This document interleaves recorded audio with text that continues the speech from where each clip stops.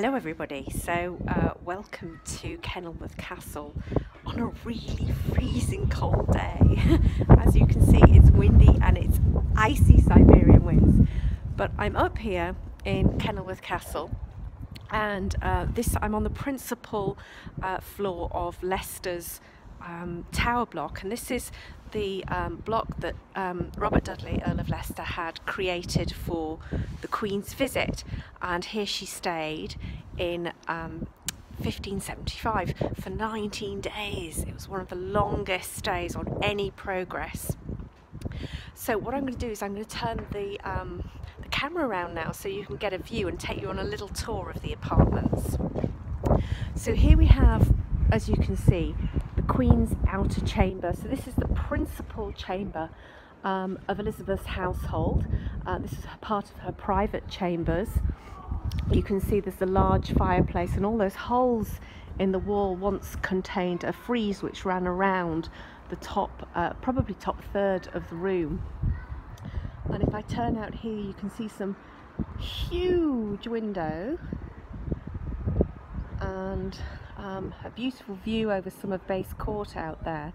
But if we go this way into the sunlight, I'm going to take you through into Queen Elizabeth I's bedchamber. So here we've got um, a large, um, obviously, room in ruins which was once divided in two.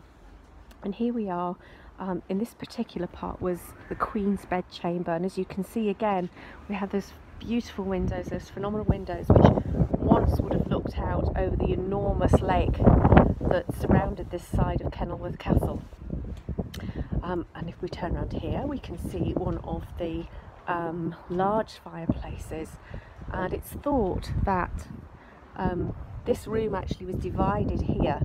And on this side of the room was an inner chamber, and this is where Elizabeth would meet with her councillors and the councillors could come in through this door here thus avoid going in through uh, the Queen's bedchamber. And then Dudley had uh, created this um, this stairway up to the turret above. Apparently there was a beautiful room on the top floor.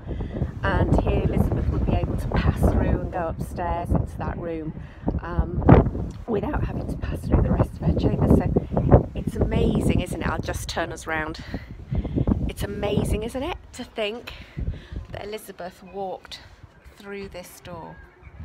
Okay, so thanks for joining me on this little um, video, a little tour of the Queen's apartments at Kenilworth Castle.